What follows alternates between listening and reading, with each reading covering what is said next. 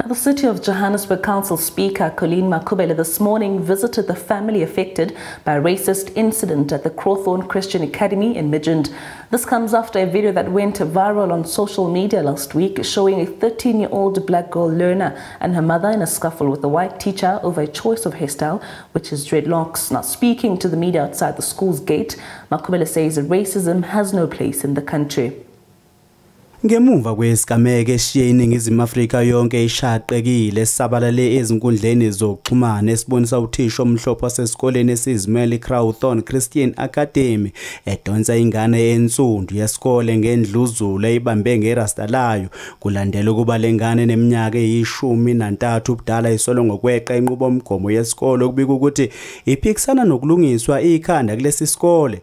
Usomlomo womkhandlu udolobha wasegoli ukhansela Colleen Makhubele Mandela uhambele umndeni walengane wabese ekhuluma nabezindaba ngaphandle kwamagceka lesisikole namhlanje ekseni nakasixake kakhulu lesenzo ethi umthetho kumele udlale indima yawo What is the underlying anger and discomfort of people? It's things like this that are not being exposed, where people are just so frustrated in their own home, in their own country, and they can't find expression, you know, and assistance to deal with injustice, to deal with all sorts of uh, abuse, and, and this is gender-based violence.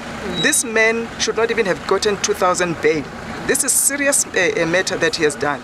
You cannot uh, violate a, a, mother and a child in front of their small boy, girl as well, who's still asking, "Mommy, are you okay?" Because she she just had an operation as well.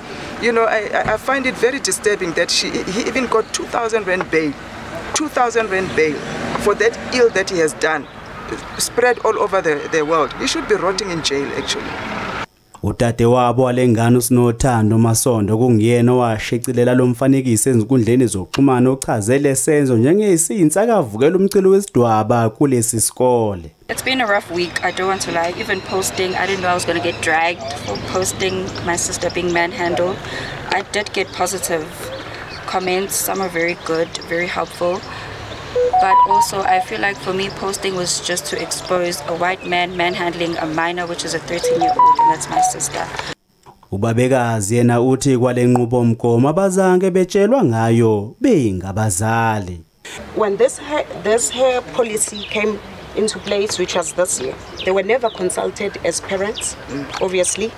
And then to to witness i mean gender based violence in a woman's mouth yeah. yeah. We feel like we've been violated. Yeah. Kanti ke bebekhona abanye abafundi abaphuma esikungweni zemfundo ephakeme abamelene nokuhlunyezwa kwengane yentombazane. Nabathi bengamele ngabe kwenzeka izigameke ezifunzele ezikakhulukazi ngesikhathi sokubungazwa kugojwa inyanga yabantu.